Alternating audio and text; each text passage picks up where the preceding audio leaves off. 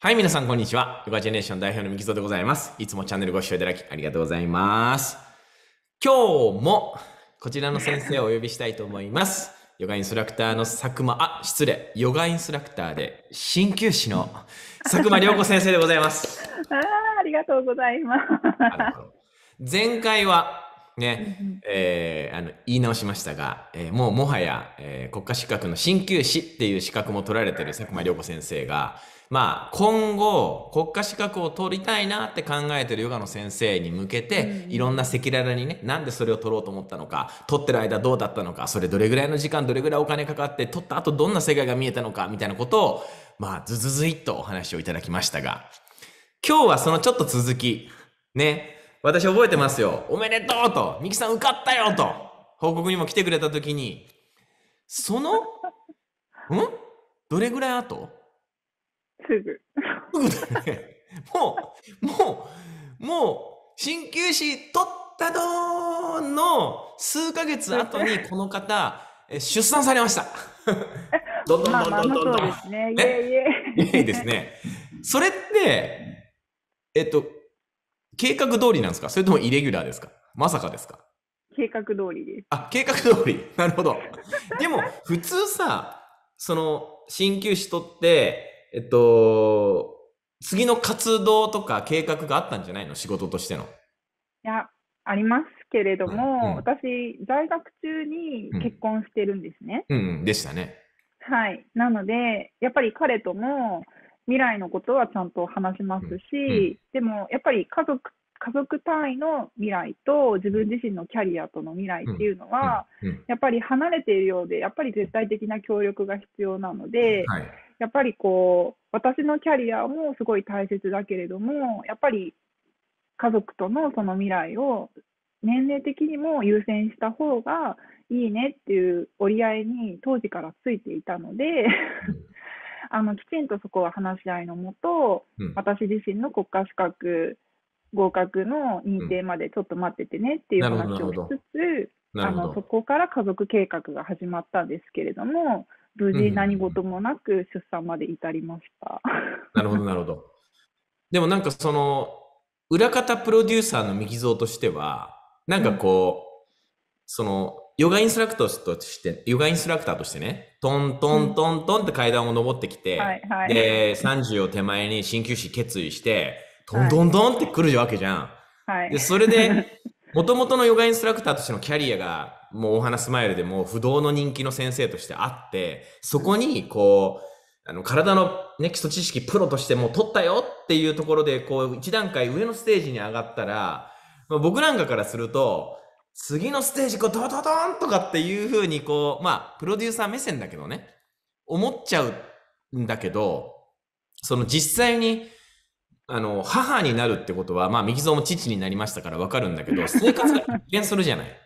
一変します。で、ねおそらくこの話って今ご視聴いただいている方で、今後それを迎える方とか、今まさにそれを迎えようとしてる方とか、まさに今出産終わったのっていう方、いらっしゃいませんか？いますよね。で、その方に、僕ね、その方の気持ちになった時に、結構、不安って言ったらあれだけど、煽るわけじゃないですよ。なんか、その、なんていうかな、やっぱり、出産をしたら、そっちに時間が完全にフルコミットで取られるってなった時に、自分の仕事が後回しになったり、一時的になんか戦線離脱みたいなことを表現する人も実際にいるぐらいですから、そこに対する不安、今まで積み上げてきたものが一時的に離れることで、1年間例えば子育てして、なんとなく手離れができそうかなっていう時に復帰した時に、ちゃんとレールはその通り残ってるのかみたいな不安がある人って多いんじゃないかなってミキゾは思うんですけど、いかがですか皆さん？良子先生はそれなかったの？いや、もう不安でしたよ。不安でしやっ。ぱそうだよね。いや、だし、うんその子育てのこの字なんて、そあの、生まれてくるまで想像しかないじゃないですか。うんうんうんだから、なんかやっぱり、同じように仕事ができると思ってたし、うん当時はですよ、まだ妊婦中の時は、妊娠中の時は、と、なんか当たり前のように今までみたく働けて、今まで通りきちんと社会とのつながりは持てるっていうような自負もあったし、うんうん。でもどんどんどんどんお腹が大きくなってくるにつれて、どんどんどんどんこうみんなにおめでとう大きくなってきたねみたいな感じで、うん。でもママママになったらねみたいなお話をどんどん聞いてくるとなんか自分の想像と違ってきてるっていうような感覚であったりとか なんかこう身動き取れない自分の体に対しての苛立ちと不安とっていうなんかこうどこに心の置きどころをも設ければいいのかっていうそういう感覚だったりとかっていうのにずっと苛まれてましたよ。うんうん。まあ、もう右蔵はあの女性ではないので、その気持ちがちょっとどこまで理解できるかなんですけど、同じくそれを感じてる今現役のヨガティーチャー多いと思うんですよね。で、うん。その、まあ、不安だったりの状況を実際にもう、お子さんが生まれてしまったらそれはもう、あの、ハッピーなわけですけれども、かたや仕事っていう意味ではちょっと不安ってなった時に、それをどう乗り越えたり、どう対応したり、どうプラン立てて、その子育てと仕事の両立をしたい、したかの、したのかっていうのを聞きたいわけ。あ なんかえっとヒントをね、その後輩の今からそれを迎える方たちに何かあるんだったらちょっと話してほしいなと思って。うんうん、あんまりこう、すごくこう自分自身が、こうであ、こうで、こうであるべきだみたいな、あの、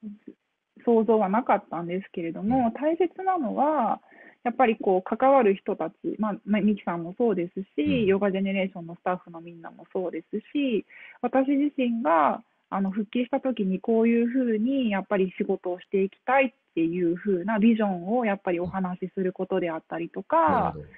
うん、あとは今 SNS の時代だと思うので、自分自身のこう、を応援してくれてたりとか、見守ってくれている生徒さんだったりとかに、ちゃんと自分の今の近況報告も含めてそうですし、うん。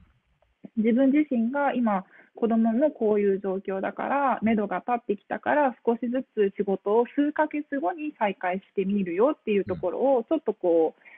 う、に匂わせるというか、ちゃんと伝えていくというか、うん。うん。そういうところでの、こう、信頼関係、お互いの信頼関係と、うんっていうところは、やっぱりこう、こまめに、うん。私、私も多分ズボラな方なんですけれども、そこはすごくこう意識的にうん。あのやったかなっていうふうには思います。と同時に、やっぱり、うんあとは、やっぱ 10, 10, 10年間ちょっとかな、11年ちょっとかな、やっぱその時ずーっと駆け抜けてた状態だったので、うん。自分自身が生徒さんのことであったりとか、うんヨガのことで勉強しなかったしてなかったこともたくさんあったりとかしてたので、うんやっぱそこのブラッシュアップも含めて。そういったあのできてなかったことをうん地道にちょっとずつやっていくっていう作業もやってました。うん素晴らしい。ちょっとまとめますね、皆さん。あの、おそらく今の話って、まず、えープランを決めるっていう、あの、ごめんなさい、ゴールを決めるってことだったと思います。出産をして、ハッピーになる。でも仕事っていう意味では戦線離脱を、あの、否めないっていうところで、まあ子育てに対して、じゃあ1年だったら1年、2年だったら2年っていう中で、その、えー少し落ち着いた時に私がどういう、えーところで復帰するのかっていうような道筋をまず描くっていうこと。で、その2年だったら2年の中で、今までタッチしてた生徒さんだったり、自分を支えてもらってた人にいきなり音信不通になると、やっぱりわーってなっちゃうから、自分が今子育てでどんな風に生きてるのかとか、その中でもヨガをどういう風に向き合ってるのかっていうような、ありのままの自分っていうのを SNS だったり、メールだったりを通じて、まあシェアをすると。で、うん3つ目はその時、まあ、すなわち2年だったら2年の設定が今後2年がゴール迎えるよっていう時に、まあ、カウントダウンじゃないけれども、いよいよ復帰しますよ、みたいなお知らせをちゃんと、えーご案内していくっていう、この3点だったように思いますけど、まず合ってますか？合ってます。ね。うん。で、もう一つが、どのみち現場で仕事としてね、わーっと立てないんだから、目の前で家の中でずっと子育てをしてる中でも、ヨガインストラクターとしてできることがあると。でそれがもう一つだったと思います。要するに、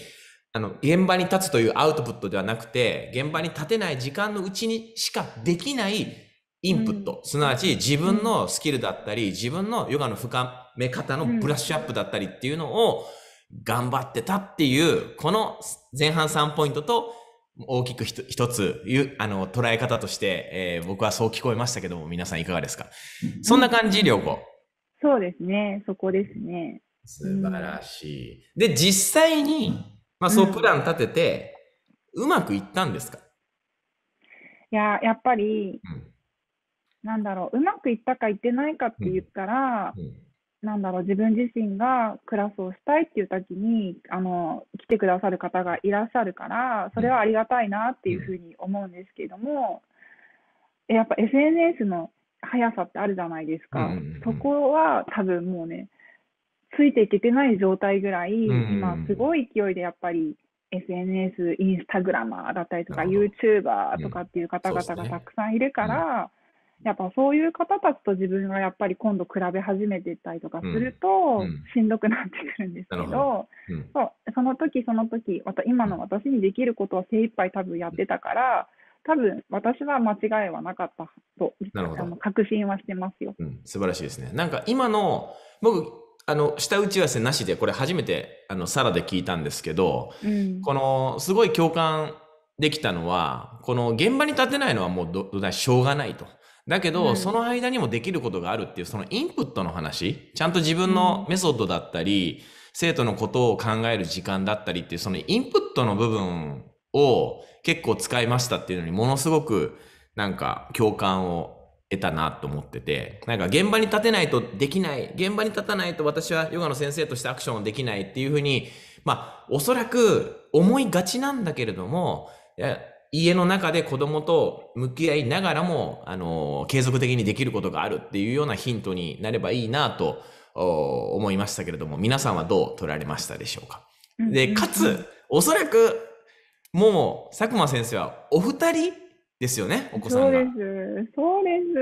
す、おかげ出さまで。産してな何年空いてるんですか？第二子とは。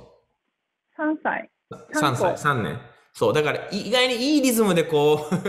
また第2子が生まれてるもんですから、それがこう2回もね、直近で来るっていう中を、まあ、2回こう、それをこう、経験されてるっていう意味では、今の話はかなり説得力があったんじゃないかなと思いますし、この2人の出産の中で、さっき申し上げたインプットから生まれたのが、今、ヨガジネーションと組んでるザ・ベーシックってメソッドだったりもするのかなと。おそらく、ね。あの、彼女は先の、さえー先般撮った動画の中で鍼灸師を目指すっていうところのストーリーをね、語ってもらってますので、その体のプロになったという知識と、今まで十数年キャリアを積んできたヨガを融合させて、あの、子育て中に編み出したのがザ・ベーシックっていうような体の基礎中の基礎っていうものを、えーしっかり学びましょうっていうメソッドのように私は感じましたので、そちらも皆さん、今日はその講座の話はできませんが、こちらにリンク載せておきますので、ちょうど今月末、5月からうん対面ですよね。です。ずっと対面ですよね。そう。ですです。陽子先生は本当に対面を大事にされてる先生なので、えーそのザ・ベーシック12名限定で、えーあと2、3人は多分、あの、定員大丈夫だったような気がしますので、興味がある人はぜひ見てくださいませ。ありがとうございました。はい。ありがとうございます。陽子先生に子育て中のママ、これから子育てをされるママヨガインストラクターに何かアドバイスをという体でお話を聞いてみました。陽子先生ありがとうございました。ありがとうございました。それではまた皆さんお会いしましょう。